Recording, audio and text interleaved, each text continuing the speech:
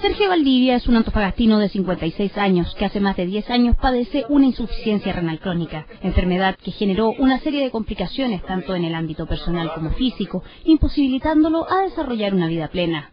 Por 10 años, día por medio, durante 4 o 6 horas, tuvo que pasar por el proceso de la hemodiálisis, acudiendo a un centro asistencial, conectándose a una máquina que purificara su sangre y prolongara su vida. Hoy ese es solo un mal recuerdo de la cárcel en la que viven las personas que padecen una patología crónica.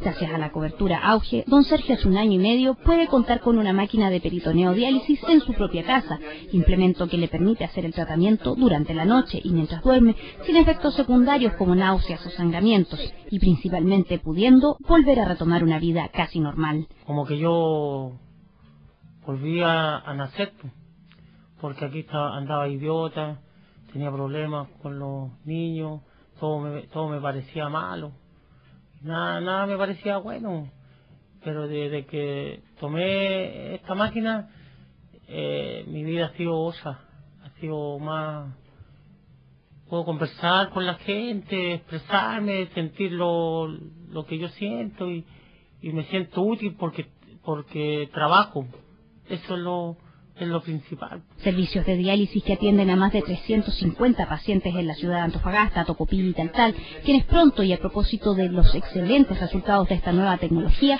podrán contar con el sistema. Dentro del plan de desarrollo del servicio, con el término de la construcción del hospital de Tocopilla ahora en eh, enero, y la puesta en funcionamiento en marzo, vamos a poner nosotros allá una unidad de diálisis, por lo tanto, algunos pacientes no va a ser necesario que se trasladen.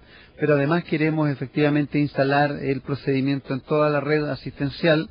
El Ministerio lo ha venido haciendo, ya lo tenemos funcionando en Iquique, y ahora queremos entonces que empiece a funcionar acá en Antofagasta y en las otras ciudades de Antofagasta, de manera que los pacientes se traten en su casa y viajen solo una vez al mes y los de Antofagasta en rigor solo vayan a control una vez al mes en la ciudad. Indumentaria médica que tiene un costo aproximado de 3 millones de pesos, además de insumos por más de 500 mil pesos al mes, los que gracias a la cobertura del plan auge son cubiertos por la red asistencial, devolviendo lo más importante para todas las personas, la buena calidad de vida.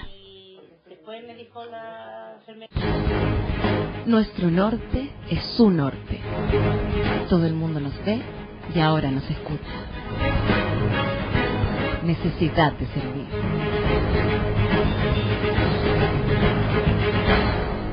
Nuestro norte es su norte.